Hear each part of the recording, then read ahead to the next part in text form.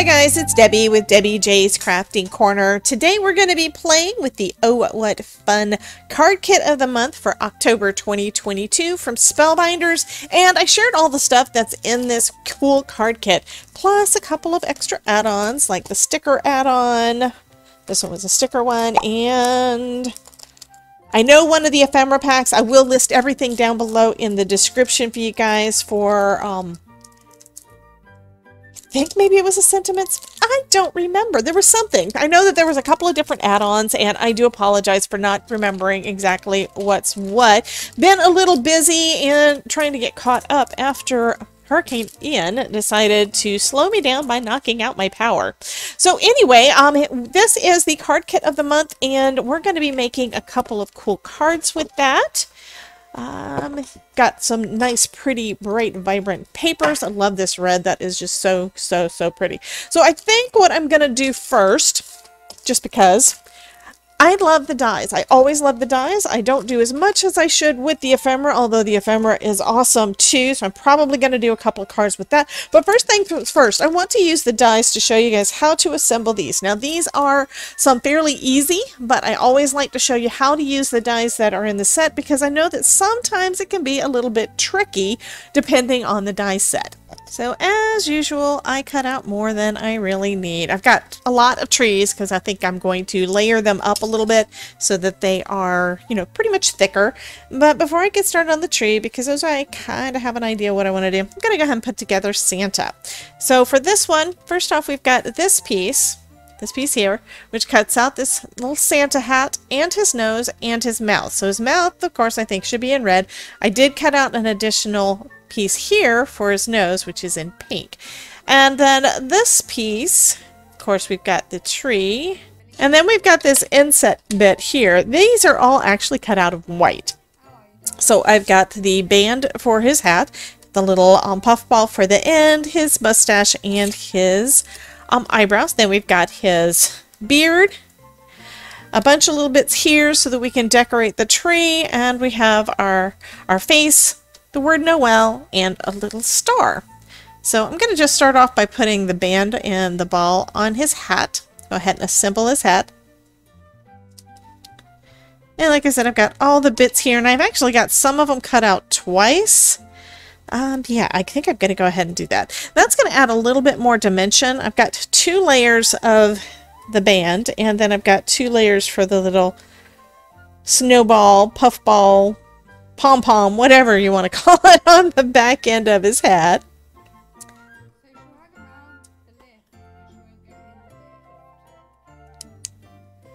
So that's going to just add just a little bit more dimension on there.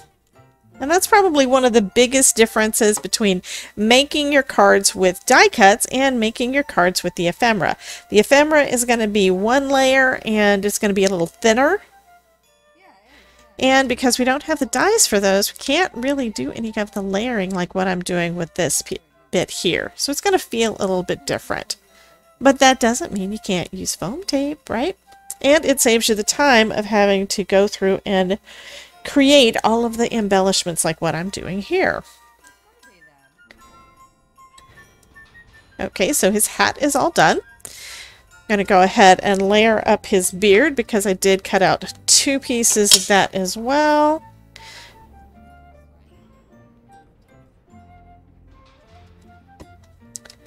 And of course, these cardstock I'm using um, is not some of the heavy weight.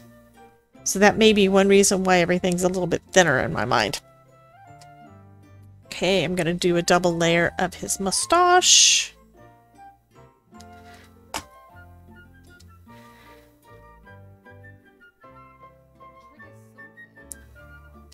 Okay, next I'm going to put his little mouth on because the mouth needs to go right here in this slot here, right beneath his mustache. So add a little bit of glue here and then grab that little red bit.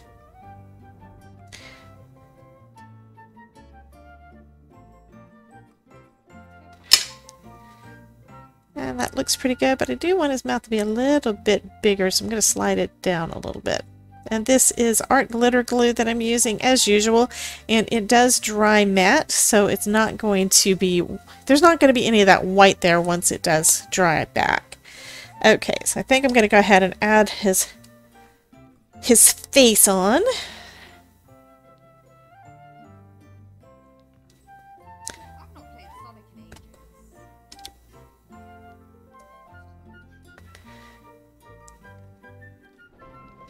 And I wasn't 100% sure where the beard was going to line up when it comes to the sides. And it looks like it is actually lining up right with the edge of this die. So we just need it to be attached right there in the center with his beard. And now I'm going to adhere his mustache and mouth on.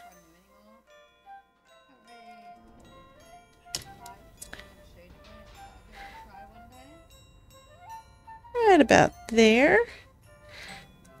And you can probably see that little bit of dimension there that the mustache is giving it. And I'm going to add his little nose.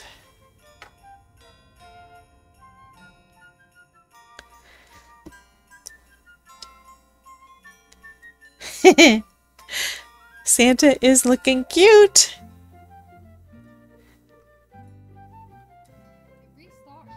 Okay, and now I'm going to add his hat right across the top here.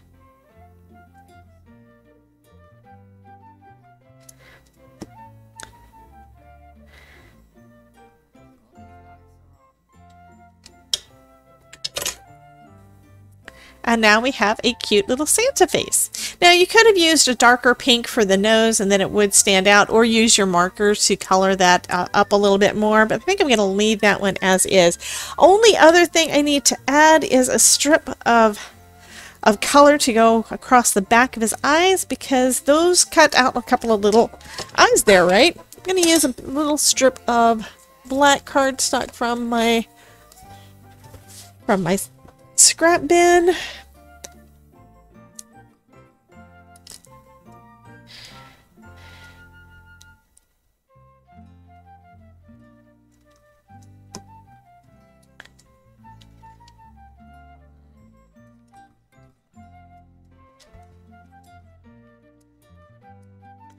And just trim it back enough so it doesn't show from behind. And now Santa is all done. Awesome. Now we do have some options as to how we can add him to the card. Now you can be, oh, I almost forgot. I've got his little eyebrows. I need to put those on.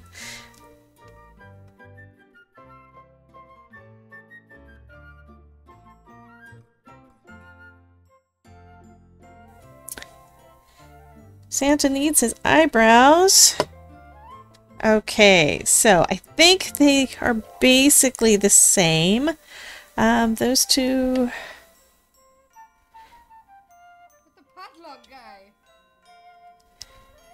Okay, I'm going to add this one first. And then I'm going to add a little bit of glue to the top of it and add this second layer. You don't actually have to, but I figure since I'm doing that, I might as well make him have thick hair all around, right?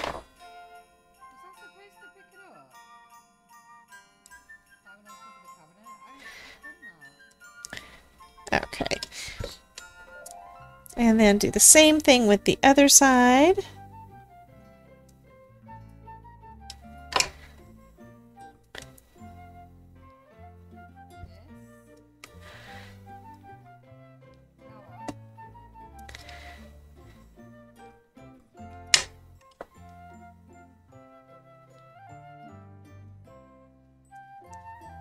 And there is our cute little Santa. Yay. Okay, so Next, I'm going to go ahead and put together the trees, and then we can figure out what we want to do with the rest of the cart. Now, um, I think I'm probably going to go ahead and make two trees. I do have enough of the garland to go on there twice. So these guys are so small that, yay, they're going to fit in my Xyron. Um, I only got the little ones, so um, I'm going to use these for these little guys because it's going to be a lot easier to adhere them down. Okay, That's enough, I think, for that. I did. I wasted a bunch because I was trying to get them actually lined up and to go in there because they're so, so, so small. Uh, I think I am going to add it on the back of my gold Noels, though. And again, these are just very, very finicky and very thin. Very small.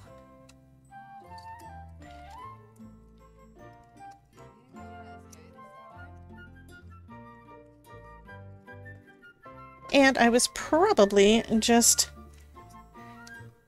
messing around with it too much, and that's the reason it took so long. Okay. So whenever you're using one of the Xyron machines, you do need to burnish around your die cut. The reason for that is sometimes you wind up with little um, adhesive little runners, I guess, little strings. And I don't really want those to cause me any issues, so but this should take a lot less time than trying to add adhesive to the back of all of those little guys, you know? Especially if you know what you're doing and you've been practicing, which I have not. Okay, so I'm going to go ahead and add some of my little guys on. I'm taking off this bit. This plastic piece on top has got adhesive on the back of it entirely, so it's really sticky. And now I've got my little my little stickers here. These are actually now little stickers. So that is super awesome. Okay. And you can see some of those little strings there. I'm just going to try pulling some of those off. Not a big deal. And go ahead and position my first string here. Okay, and if it runs off the edge, that is totally fine because I can just trim off any kind of excess.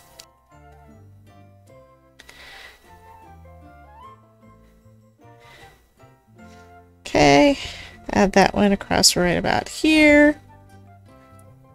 And then we have a couple of babies. Okay. And that little one I'm going to put right across the top, right up here. So we've got this little tree. I'm going to glue on the the star up at the top.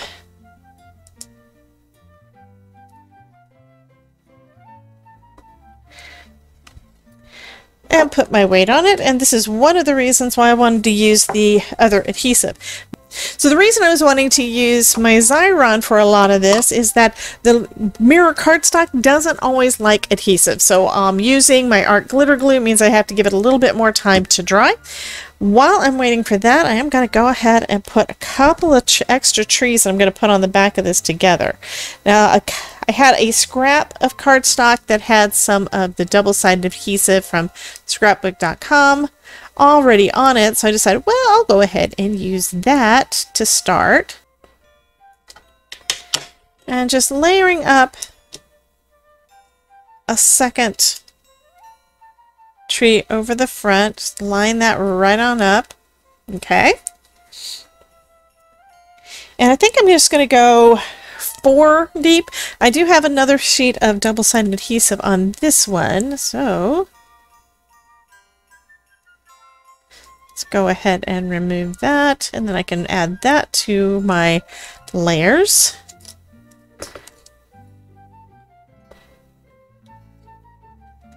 And with this, you do need to line it all up the way you want it before you start pressing everything together. Okay, and then just need to add some liquid adhesive to the top of this one, and then I can add my green Christmas tree on top of that. These are some really, really easy dies to put together. I think that this is just darling. Okay, so now we have a tree that is a few layers thick. Press that down a little bit, make sure it catches like it's supposed to.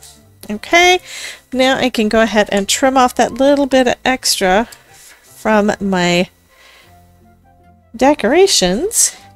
And I've got these little red and gold balls here. You could also use Nuvo drops, um, gems, whatever you want for it, but there is a die in the set that included in the set so you can cut those out too.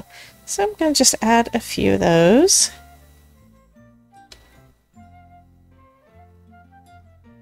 Kind of just random.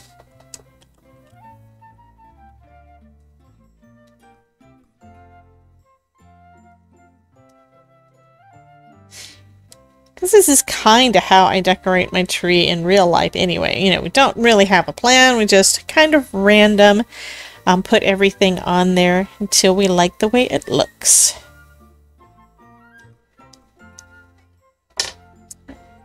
There we go.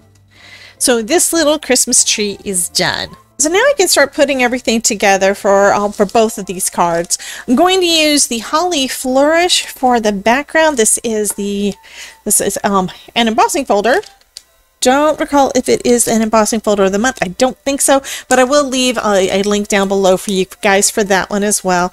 And I'm just going to go ahead and adhere this panel down onto the card base directly using a dot liner adhesive for this.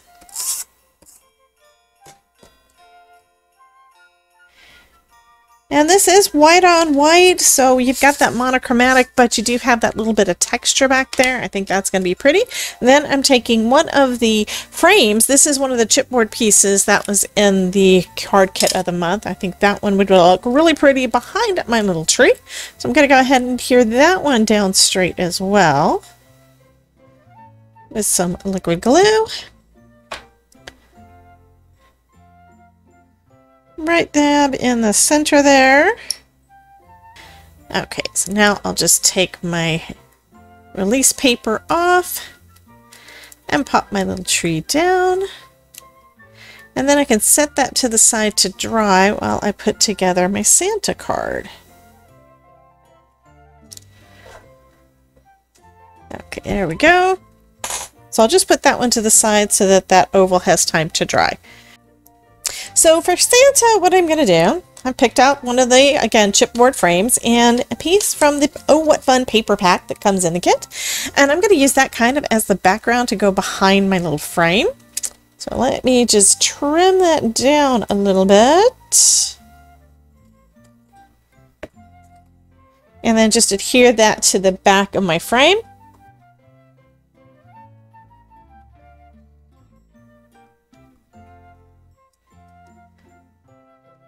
Okay, that looks perfect. Awesome. I've also added some of the foam squares to the back of Santa's head. So I can just pop him right on down.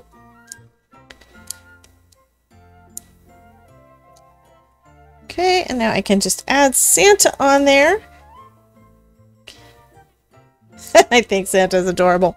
Okay, and then I picked out a sentiment that is one of the sentiments in the sentiment pack that's included in the kit. I believe these are in the kit. If not, it's one of the add-ons, and I will leave you um, all of the information about that down in the description. So I'm going to put a couple of foam dots on the back of this one as well to have it popped up. Actually, that one does not go there. This is going to go there. Okay. Because I want to kind of have it a little bit wonky. And if you'll notice, this, you may not notice. Let me hold this up.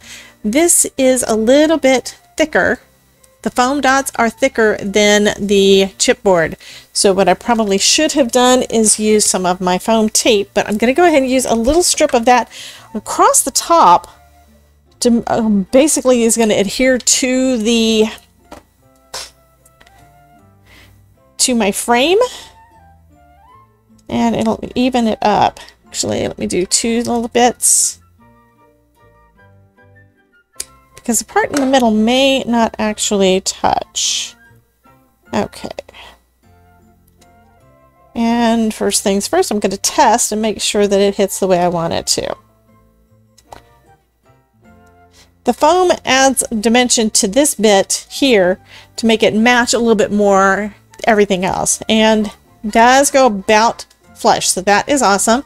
Now I'll go ahead and take the little pieces of release paper off and then just position my little feeling jolly right across there. Now I can adhere that to the front of a card base. And I'm going to leave it at that. This one is going to also be another clean and simple um, on the first, I did add that additional texture behind it, but I think this is going to still work just as well. There we go. And there are other bits and everything in with the ephemera, so I haven't decided if I'm going to add anything additional to those. I'm going to think about that a little bit while everything dries and I work on my third card. So I also uh, kind of separated out all of the ephemera and put it into this bin that I never use because everything always slides underneath. But I figured this would be a good way to use it to kind of just separate everything out temporarily. There, stay popped in there. Okay, separate everything out temporarily while I start sorting through to see what I want to use. Now, while I was looking through all of the cute ephemera, I saw these little cute little gingerbread Man. I've got a bunch of them. Look at these little guys. They are adorable. And then, of course, we've got the thickers that are a little bit smaller, but they are friggin' adorable. Okay, so I've got all of those, and then I've got these panels that came in. So this is basically your sentiment and focal point. We've got, and two of each, two, four, six, eight, 10, 12. So that is 12 cards right there. I mean, come on. Um, anyway, what I think I'm going to use this time, and as I'm looking at this, I'm thinking, you know, I could have done that with the tree, and I probably will with another point. kind of the same kind of thought and design. Um, right now, what I'm going to do is I'm going to use one of these that say, May your holidays be filled with sweet surprises. And grab out a card base that I had put to the side. Okay. So I've got that. We've got that. And then I can add some of these cuties to the front of it. And that right there is a card done. And this would be flat and easy to go through the mail. So let me go ahead and start up start start adhering that one together. This one is the quickest, easiest of the bunch and I may just have to make some more of these because they are so they, if it wasn't so cute while being quick and easy I wouldn't be happy with it. But the thing is it is super cute. These images are adorable. So first adhesive on the back and then put that right in the center of my card base Okay, so that is all centered. And then I can add my little guys here. And I think I'm going to use some thin foam on here just to give them a little bit of dimension. Um, also, this is some thin cardstock, so you don't want to pop them up too much over the rest unless you find a way to do a backing, which you could mount this onto some, um, some white. Actually, I think that's what I'm going to do. I'm going to go ahead and glue this guy down, and then I'm going to fussy cut around him. And that is going to give him a little bit more strength. And I'm going to do a second one, and I may do a third. Not decided 100% yet.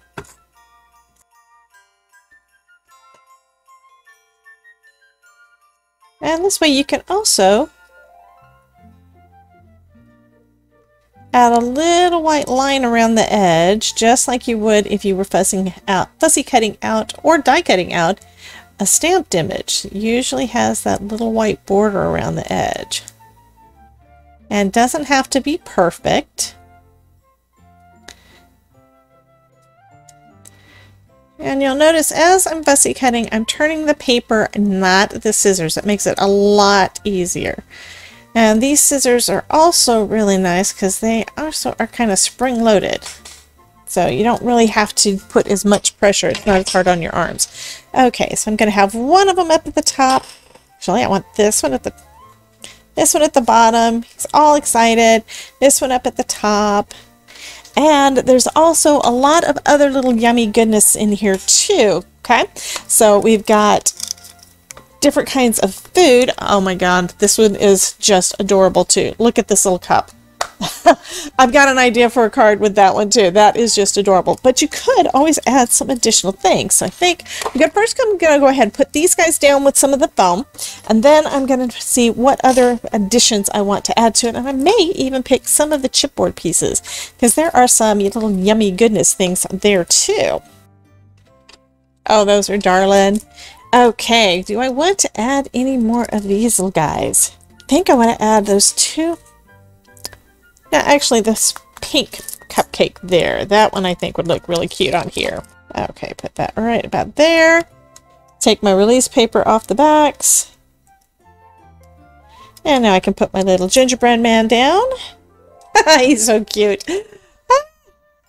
Sometimes the characters and sometimes the things that are in these kits, I just get so tickled over. I mean, you know... Oh, they are adorable. Okay, so that could be done. Do I want to add anything else to him? I think I'm going to add some of the sequins. There's also a set of sequins in this kit. Let me grab out another triangle tray. I'm going to sprinkle a little bit of those across this, give it a little bit of extra shine, because you can't go wrong with sequins, right?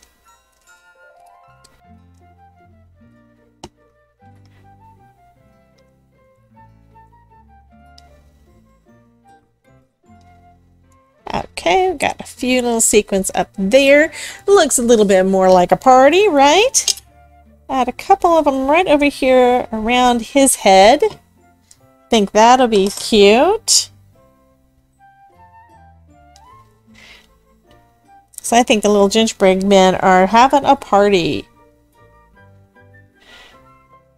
Okay, and then give this little guy some party sequins too. Okay, probably I'm going a little bit overboard on the sequence, but you know what? That's totally fine.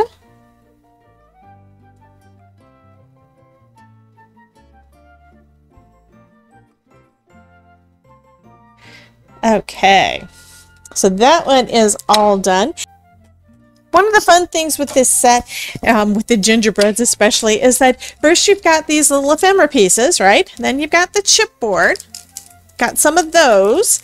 Then we've got the stamp set.